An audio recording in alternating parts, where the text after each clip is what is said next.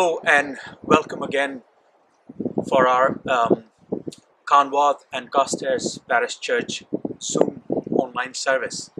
Well, you might be zooming right now or you are watching it through YouTube, but whatever means you are here, we would like to say thank you for tuning in. Thank you that today, when we are starting our Lent, well, we started Lent on Ash Wednesday, but this is the first Sunday in our Lent season we have started this journey along with Jesus Christ. And the first Sunday and our lecture reading today is all about when Jesus go in the wilderness, driven by or drove by Holy Spirit. I'm not sure how many people have experienced the proper wilderness. Being a city boy, I've hardly experienced it. Sometimes I'm even still afraid of dark. And today we are in the Carstairs village and this is the wild is lime walk. And as you can see the background we are in the wild. I know when Jesus was in the wilderness there might not be any light. You can still see this torch on my face. But when Jesus was in the wilderness there may not be any light apart from the moon or the sun. Jesus was with wild beasts and even the presence of Satan was there Today, I'm just bringing you here to see that what the wilds look like. It's all dark. And this, these trees are really daunting too. But I'm trying to experience a small percentage of what Jesus must have experienced when he was in the dark. There might not be no shelter. It might be raining and windy like this today. There might be a storm in those 40 days. We don't know what I would like to share with you and what I want to experience is just a one small glimpse of what Jesus might have experienced in this time. So let's take just a moment of silence. Just forget about everything else and think what's what we'd like to do in this hour. What if you want to see God face to face today through our worship? Be still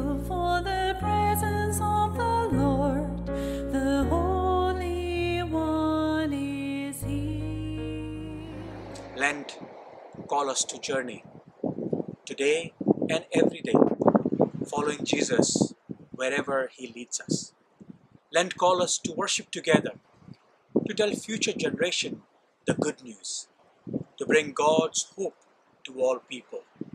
Lent call us to be faithful living, to trust the one who gives us life. Lent call us to journey with God. So let's worship God who walks with us today and every day. Amen. Shall we continue and start the worship and sing our first hymn, Pass Me Not, O Gentle Savior. Pass me not, O gentle Savior.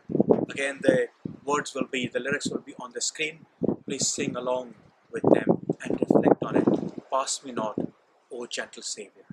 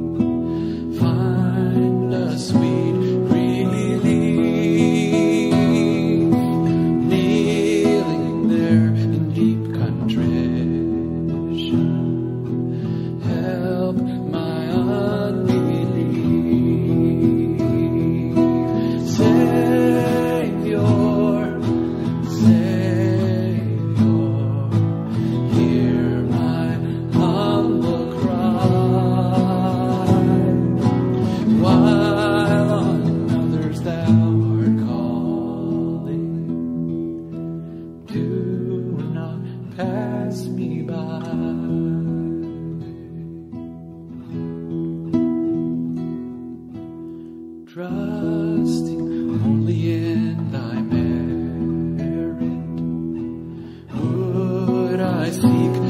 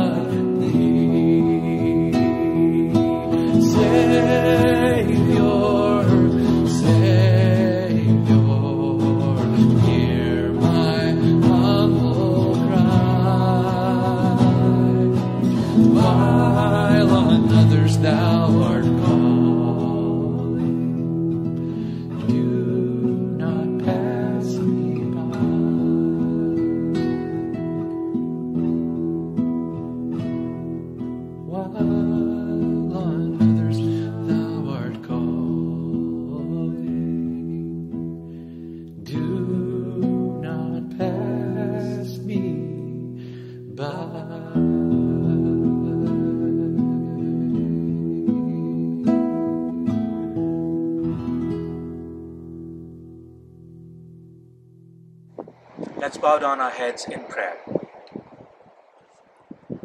Here at the outer limit of Lent, we are called to walk.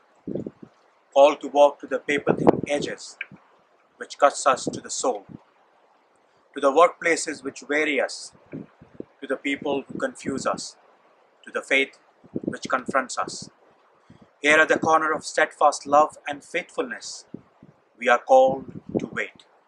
Called to wait when our clenched stomachs awaken us in the moments of unbearable sorrow. With the angels who would carry us there where time is fulfilled, where God's kingdom is as near to us as our neighbors. We began Lent with the beloved whose tears wash away our fears, with the God who will not let go of our hands. Never forget that we will have to face the wilderness in the parts of our life anyways. Jesus Christ boldly, boldly faced the wilderness. It's dangerous and wonders. It's, he struggled. He struggled with his mission to make known God's loving purposes for all people, guarded and guided by God's Spirit. He was triumphant and began to proclaim the gospel and the hope that he reign of God would bring oppression to and to end and deliverance for those held captive.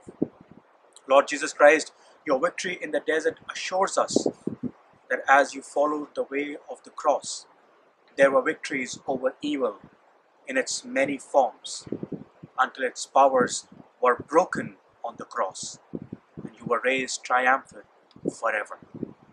Grant us vision and courage that in our time we may recognize and struggle with all oppressing and dehumanizing forces in this world and become sign of the inbreaking of the reign of God. All this we pray in the name of Jesus and say the prayer he taught the world to pray. Our Father, who art in heaven, hallowed be thy name. Thy kingdom come. Thy will be done on earth as it is in heaven. Give us this day our daily bread, and forgive us our sins as we forgive those who sin against us.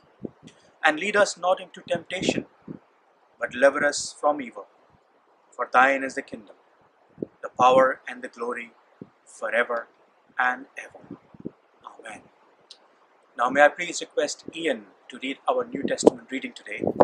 The first lesson comes from the Gospel according to Mark, chapter 1, reading from verses 9 to 15. At that time, Jesus came from Nazareth in Galilee and was baptized by John in the river Jordan. As Jesus was coming up out of the water, he saw heaven being torn open and the Spirit descending on him like a dove. And a voice came from heaven You are my Son, whom I love. With you I am well pleased. At once the Spirit sent him out into the desert, and he was in the desert for forty days, being tempted by Satan. He was with the wild animals, and angels attended him. After John was put in prison, Jesus went into Galilee, proclaiming the good news of God. The time has come, he said. The kingdom of God is near. Repent and believe the good news. Amen. The second lesson is taken from Peter's first epistle, chapter 3, reading from verses 18 to 22. For Christ died for our sins once and for all, the righteous for the unrighteous, to bring you to God.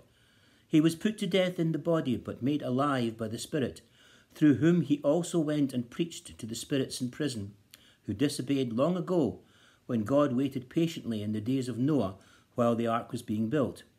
In it, only a few people, eight in all, were saved through water, and this water symbolizes baptism that now saves you also. Not to remove the dirt from the body, but the pledge of a good conscience towards God. It saves you by the resurrection of Jesus Christ, who has gone into heaven and is at God's right hand, with angels, authorities, and powers in submission to him. Amen. Thanks be to God for these readings of his holy word. To his name be all honour and glory. So, few years ago, a farmer owned land along the At- Atlantic seacoast. He constantly advertised for some hired hands, some labor to work in his farm. Like most people were very reluctant to work for on farms along the Atlantic. Why? They dreaded an awful storms that rage across the Atlantic, wreaking havoc on the building and the crops. As the farmer interviewed applicants for the job, he received always a steady stream of refusals. Now, finally, a short and thin man, well past his middle age, approached this farmer. So, farmer asked, Are you a good farm hand? Well, the gentleman, the little man replied, Well, I can sleep when the wind blows. Well, farmer was although puzzled by this answer, the farmer was desperate for this help of hired hand, so he hired him.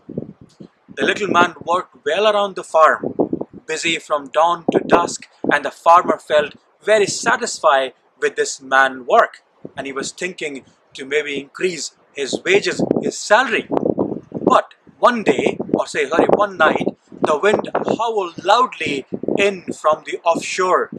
Jumping out of bed, the farmer grabbed a lantern or maybe a torch and rushed next to the hired hand's sleeping quarters. He shook the little man and yelled, Get up! Get up! A storm is coming! Tie things down before they blow away! The little man rolled over in bed and said firmly, No, sir, I told you I can sleep when the wind blows. Well, enraged by this response, angry by this response, the farmer was tempted to fire him on the spot. But instead, wasting his time, he hurried outside to prepare for the storm. To his amazement, he discovered that all of the haystack has been covered with trampoline.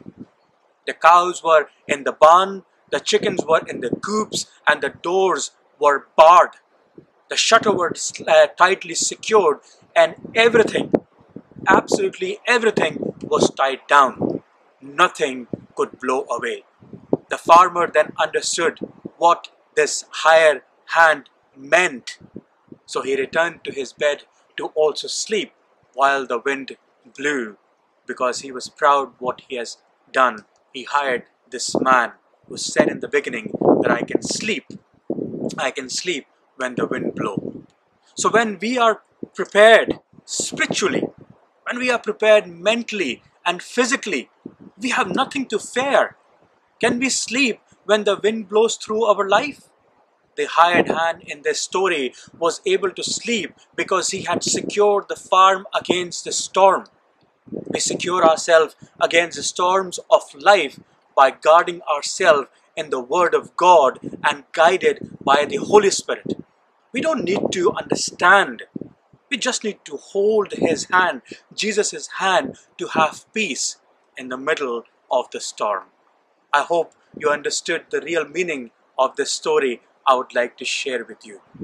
May we just walk with, with the hand which was which was nailed on the cross. Because Jesus is still happy to hold our hand with that hands as well and just walk with us and take us to this wilderness journey to reach us to take us to the heavenly place he has created for us. God bless you all. Let's sing our second hymn how sweet the name our second hymn how sweet the name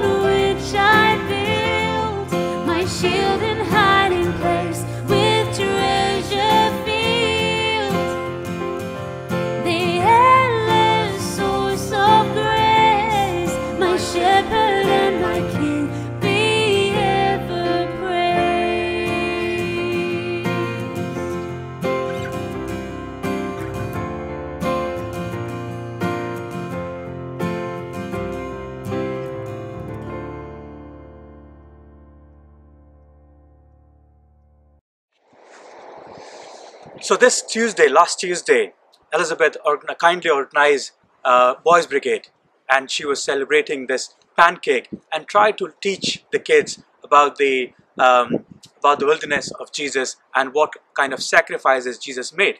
So Isaiah was there, and then their mom is starting to prepare this pancake, and he did pancake as well, and he prepared it for for his brother as well. When the time come of eating, both wants the first pancake. Isaiah said, I want the first pancake. And Elijah said, I want the first pancake. Well, their mom thought it's better to teach them a lesson, a moral lesson. And she said, Well, Isaiah, what do you think, boys? What do you think? If Jesus would have been there, what he would have done? He would have given the first pancake to their brother, to his brother. So Isaiah said to Elijah, Elijah, why don't you be Jesus today? well, boys always boys, isn't it? So, today we are going to talk about the wilderness. I first learned I first learned the story of Jesus' temptation in the wilderness when I was in my Sunday school. And I think most of us heard this story when we were in Sunday school. However, I was privileged to work in YMCA, YMCA Delhi uh, in India, and it's called Easter Pageant. Easter Pageant, and I was a disciple. So when I was in my, I think I was in my secondary school when I acted in this Easter pageant as a disciple a young boy is still afraid of dark and Satan's big horn, was standing and trying to understand, like I was confused. Why Jesus? Why Jesus even here in this wilderness and tolerating this man called Satan, who is the source of all the evil? Our director was narrating the scene and trying to convince us that we are just going to act and this is not happening in real life.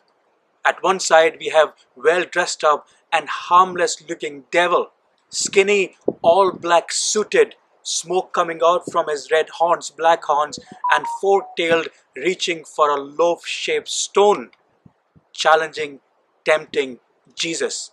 And to his, his side, a supremely undisturbed Jesus towered over the landscape in a pristine white robe, his finger pointed devastatingly at his tempter. To be fair, our narrator, our director was doing the best he could do to ease us into this story that might have frightened the young ones greatly. And I always give him credit for that. But I feel, I feel there was a problem. And I feel there is a problem in our traditional view of this wilderness and Jesus' trial what I observed there and even in my other previous experiences on Sunday morning was a superhero version of Jesus Christ that left no room for his humanity. At one point in my childhood or young adulthood, and maybe this is same same case for you too, it did not occur to us that Jesus actually struggled in this wilderness, that he got hurt, that he hungered, that he wept, thirst, wrestled, and suffered in the wilderness. Not for just one or two days, but 40 long days.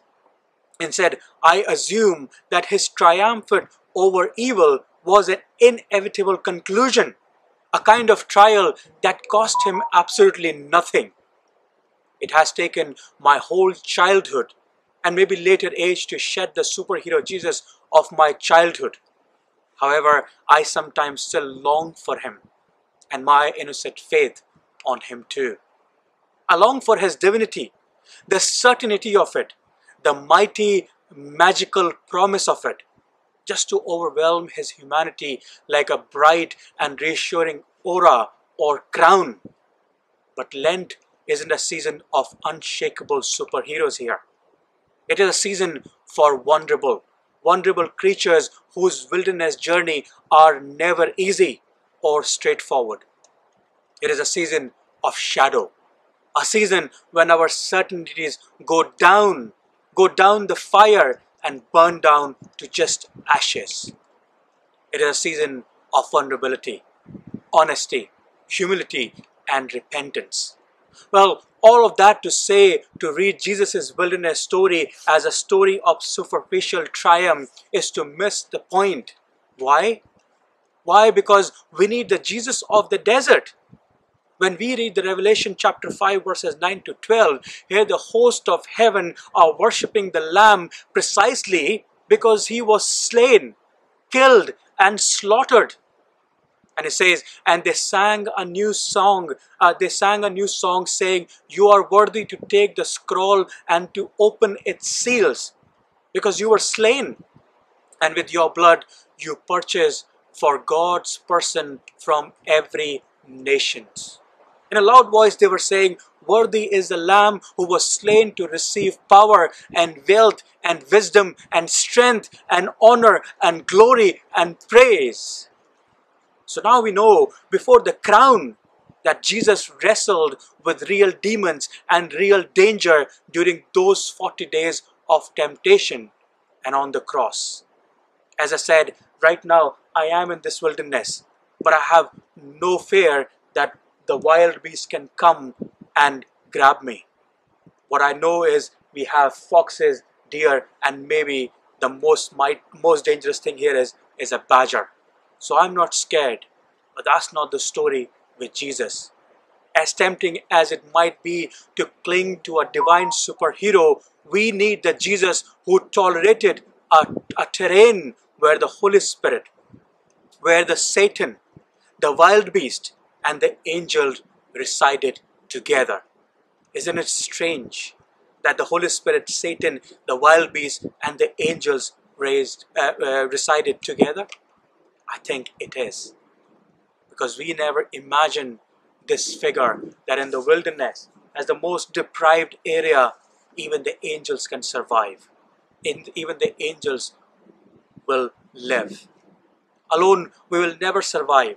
We will never survive such a dangerous place, but with a companion, yes, with the companion who knows the way, we will.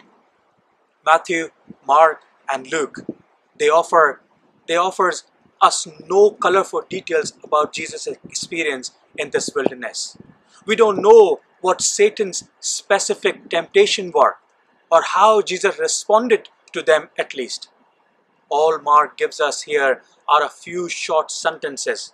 The Spirit immediately drove Jesus out into the wilderness.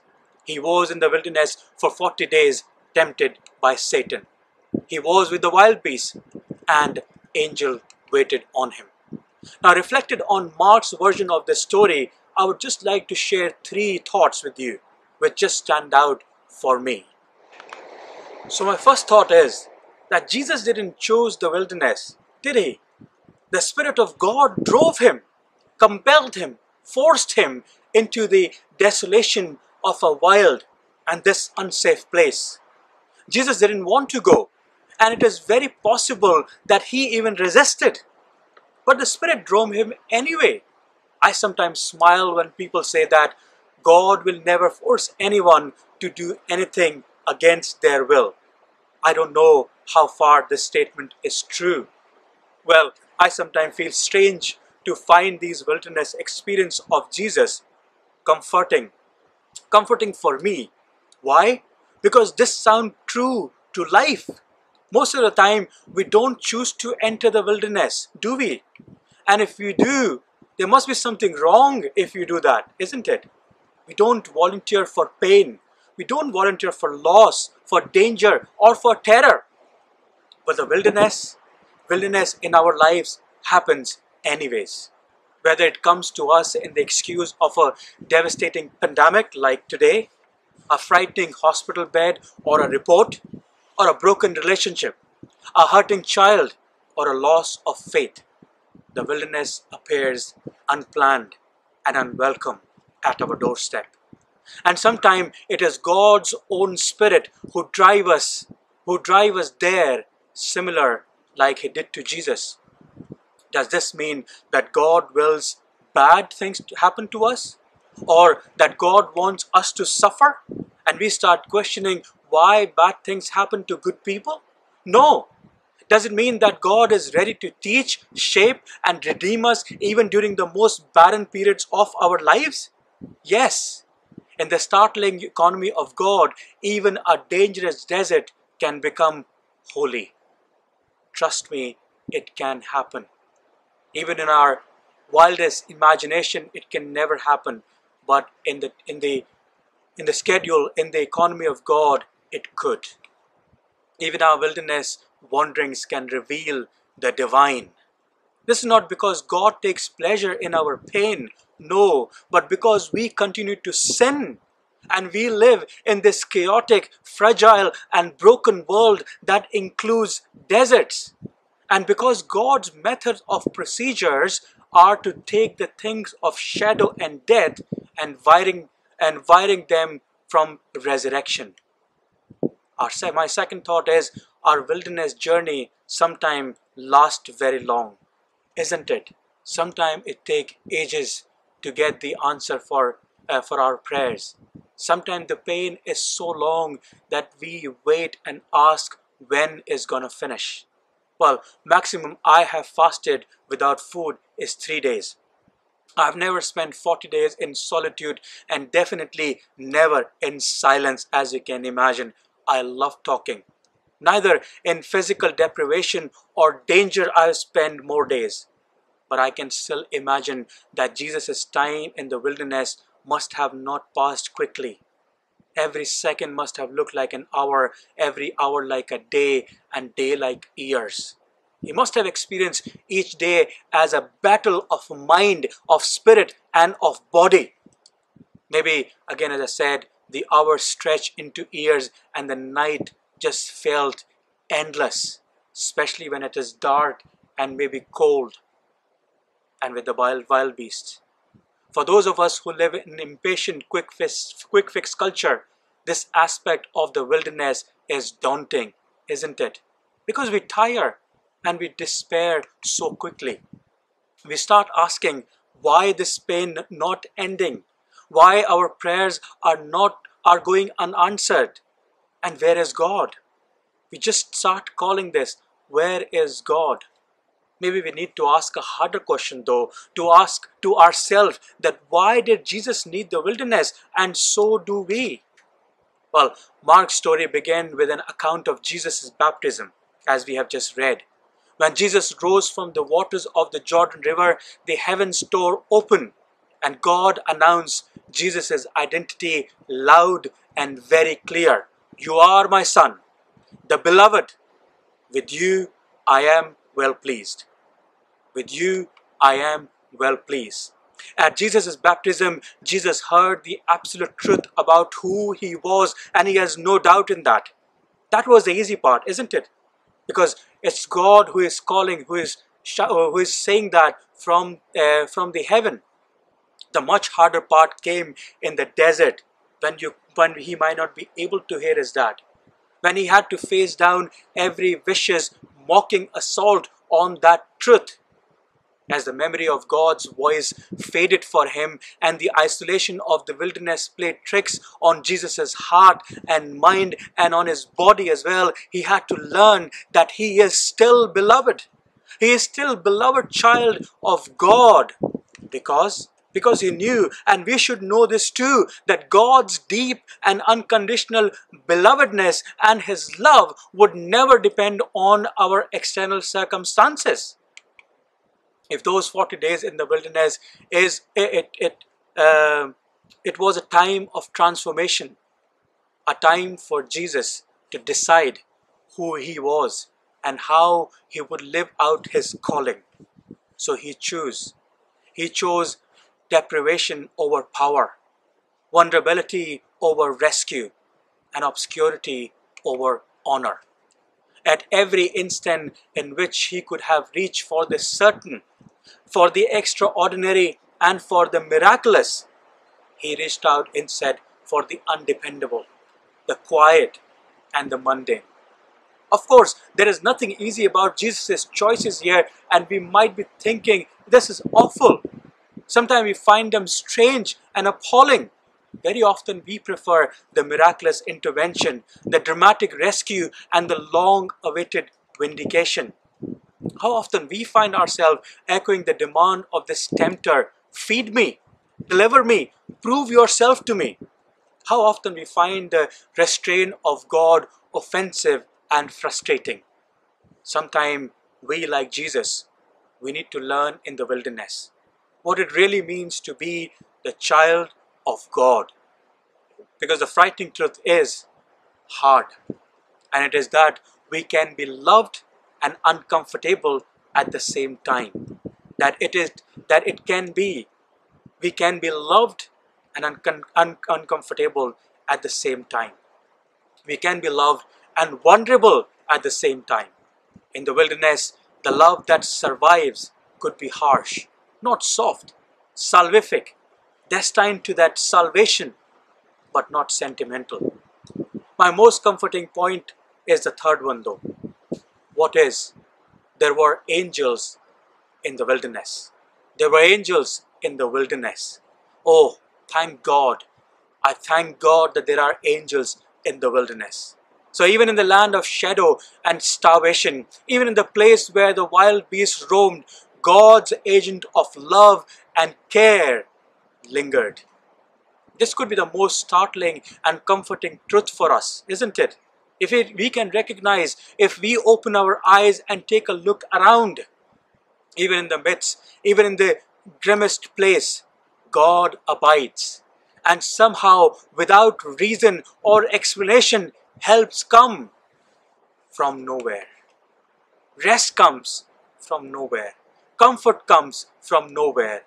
Often our angels don't always appear in the form we prefer, trust me, but they do come. It happened to me. I do have personal experiences of these. What do our angels look like? We don't know. Do we recognize them when they show up? No. When they minister us? No. When they hold us? When they embrace us? Do we hear a new version of God's voice calling through them saying, Us, beloved? If yes, then what would it be like to enter into someone else's barren desert right now and become an angel of their journey? As we begin our journey into Lent, may we experience the companionship of the Christ whose vulnerability became his and our strength. So may we enter with courage and uh, uh, with the courage the desert we can't choose or avoid.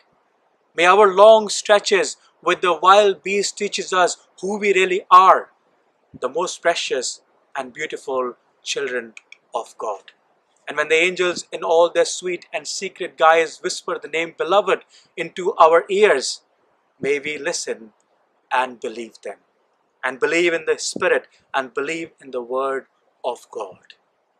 May God bless you and bless your time of wilderness, of suffering, and be with you and hold your hand and takes you where He is. If you're fasting, it's good. If you're not, try to concentrate more on for this 40 days more on the word of God and come nearer with his death, his crucifixion and his resurrection. May God bless you all. Thank you for joining. Thank you. Let's bow down our heads again and praying for everyone. Almighty God, be with us as we contend with our lives and all our challenges. Thank you for listening as we bring before you the troubles that undermines us. We affirm, it is written, one does not live by bread alone. Strengthen and sustain our families and our communities, especially Carstairs and Carnwath and Carstairs Junction and the neighboring areas, Lord. Nurture the bonds between us and inspire us to live with empathy and forgiveness.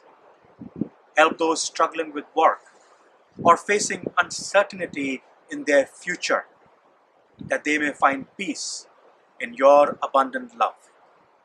Jesus, our Redeemer, rescue us when we stumble because we proclaim it is written, Worship the Lord your God and serve only Him.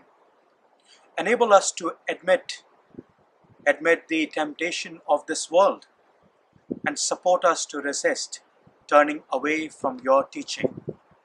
Awaken us to recognize the gift you have given each one of us and to see the role we play or we can play in the healing of this creation, your world.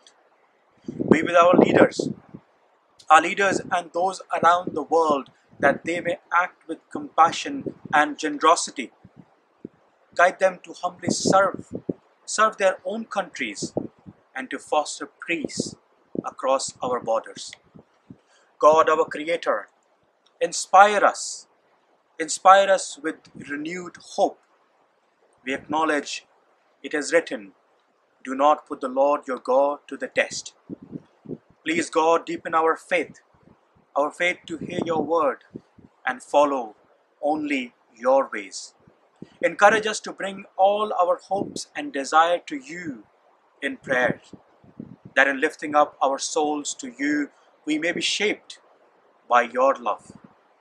Help us to hear the dialogue of prayer and to listen in prayers as much as we speak.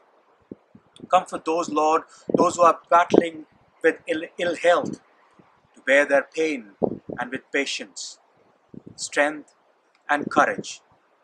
Holy Spirit, our Comforter, sustain us in our times of trials.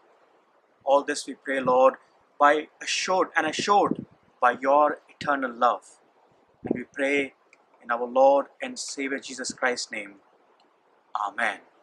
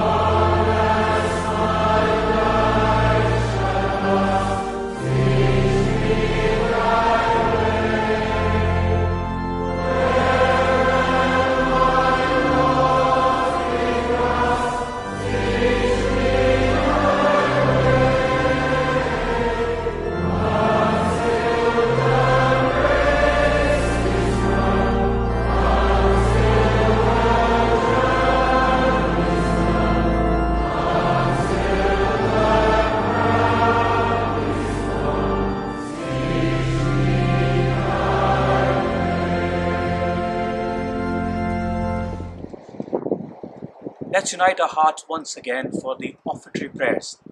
Now, I know we are not offering in this time, in this morning maybe. You're offering with, with all other means. Some people with standing order, some people with free, uh, free will envelopes, some just with checks or donations. But whatever way you're offering and giving your commitment to God, I would just like to pray so that God can bless us on that uh, on that spirit of stewardship. Let's pray. God of the wilderness, we give these offering in gratitude, rejoicing in the abundance of your gifts to us. We give these offering in faith, O Lord, trusting that you will provide our own needs. We give these offering in hope, knowing you can use them to spread your love in this world. And with these offering, we give ourselves. May we live with generous hearts with and with open hands. In Jesus' mighty name we pray. Amen. Let's receive the blessing. So, whatever wilderness the Spirit has brought you to, walk in boldness as a beloved child of God. Walk in peace under the shelter of the Most High. Walk in faith, knowing Christ walks with you. And now may the grace of our Lord Jesus Christ and the love of God and the fellowship of the Holy Spirit be with us all, now and forevermore. Amen.